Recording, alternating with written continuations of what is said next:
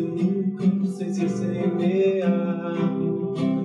Foi meu amor e me disse assim que a flor do campo era o alegria.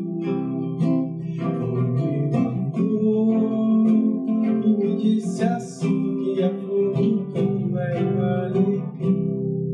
Ai, o alecrim, uma planta tão cheirosa, tão bonita, É um cheirinho maravilhoso do alecrim. O alecrim a gente pode temperar nossa comida. Pode. Fazer chá e fazer suco. O chá do alecrim é maravilhoso, deixa a gente esperto e ainda ajuda na nossa memória. Dizem, muito antigamente, na época dos nossos tataravós, que se você colocasse um raminho de alecrim na orelha, você lembrava de tudo. É. Esse alecrim é danado. E hoje a gente vai aprender a fazer um vaso que não precisa molhar toda hora. É um vaso freático, que ele fica com a água aqui, ó. Ele fica com a água aqui embaixo e a gente coloca essa parte aqui de cima. Isso aqui, ó, era uma garrafa inteira.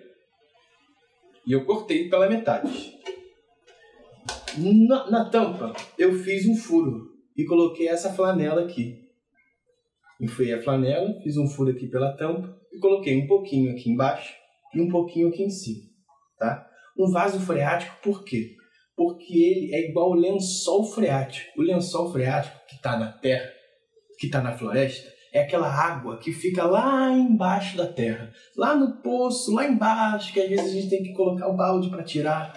E é, da, é de lá que a planta, que a raiz da planta desce e pega toda a água que ela quer. É do lençol freático. Então aqui é como se a gente estivesse fazendo uma experiência do lençol freático da natureza. Então isso aqui vai servir como uma extensão da raiz. A raiz da planta vai ficar aqui e vai sugar a água que vai estar aqui, ó, molhadinha no pano. Então vamos ver isso? Vamos plantar um alecrim? Então vamos nessa. Ó, com a outra metade. Lembrando que a gente precisa colocar água de vez em quando. Então, ó, eu fiz um furinho aqui, ó. Fiz uma portinha aqui, ó. Tá vendo a portinha? Fiz uma portinha aqui para ela depois ficar tampada, que é só colocar um regadorzinho aqui e encher de água, tá bom? Ou um caninho. É bom sempre isso ficar fechado, ó. Depois eu vou colocar aqui, ó, minha garrafa. É bom, ó, apertar ela um pouquinho e não deixar espaço. Se ficar espaço aqui, coloca uma fita, tá bom? Para colar. Então a gente já fez um pouquinho aí do nosso nosso vaso. Primeiro passo é esse, tá? Aqui eu não vou colocar a fita, mas se vocês precisarem colocar a fita, vocês colocam. Aqui em casa, eu aproveito um monte de coisa. Olha a minha pá, ó. Minha pá também é um gargalo de garrafa. E a gente, antes de colocar a terra, a gente vai usar cascalho.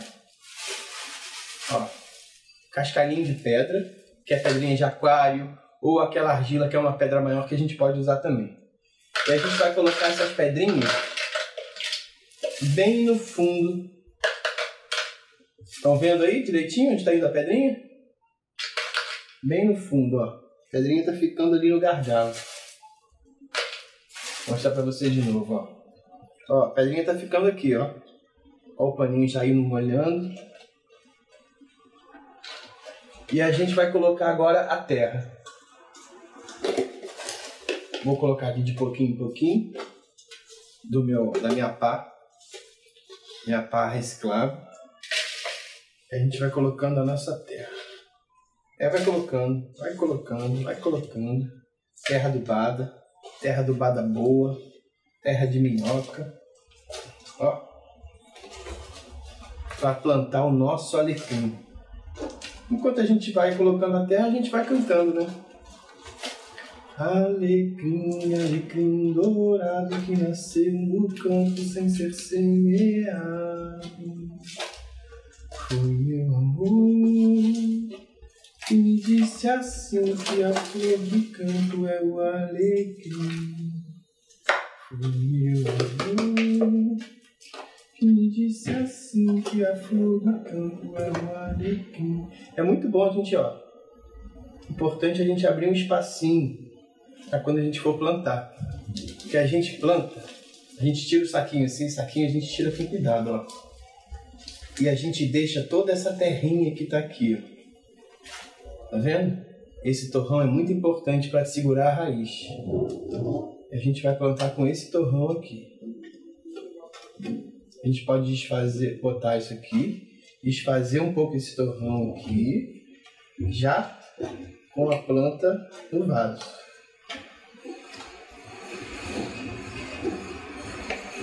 E completar com a terra. Vou jogar toda a terra aqui.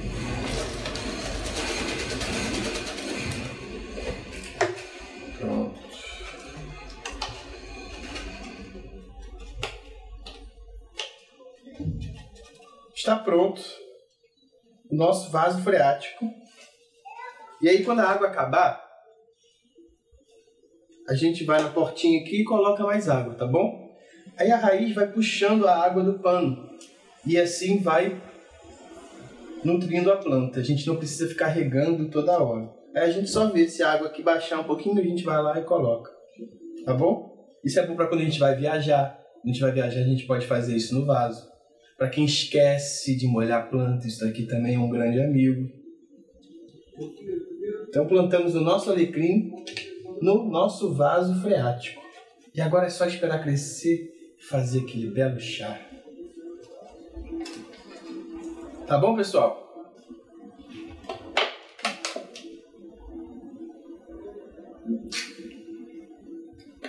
Ah, é bom regar só um pouquinho. Cadê meu regador? Aqui. Aqui em cima é bom regar só um pouquinho que a gente acabou de plantar.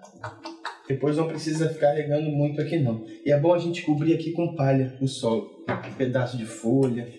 Eu vou pegar aqui, ó, um pouquinho da couve que eu cortei. Cortei uma couve e vou colocar aqui, ó, em volta. Porque isso aqui ajuda o solo a ficar bem fresquinho. E bem úmido, tá? Pronto. Plantamos o nosso alecrim. Vamos se despedir? Alecrim, alecrim dourado que nasceu campo sem ser semeado.